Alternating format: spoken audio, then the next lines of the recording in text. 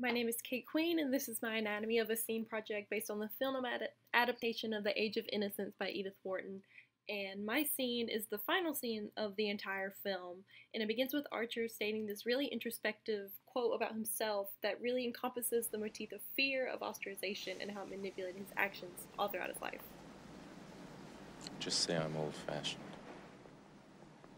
That should be enough.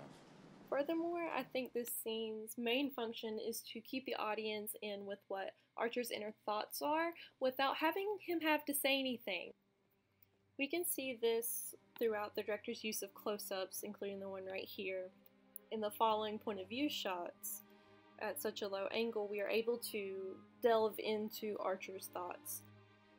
Additionally, this quick frame change between Archer into the window and back to Archer I believe symbolizes his inner conflict between sticking to his societal conventions he's known and reaching out and going against the grain and being with Ellen.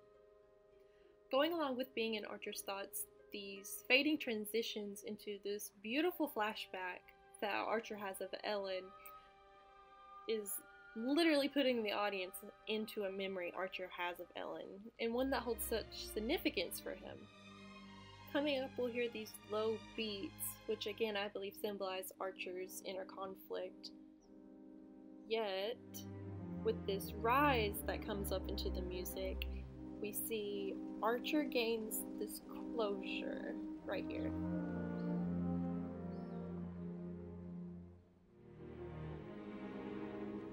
So, what has always constrained him, kept him bound from following his heart is now what later in his life has brought him closure.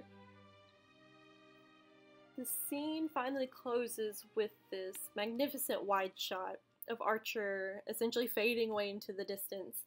But in this moment, Archer is going back into reality, leaving Ellen as a memory behind him. And the music swells and you're led to believe that Archer has found some sense of peace within himself.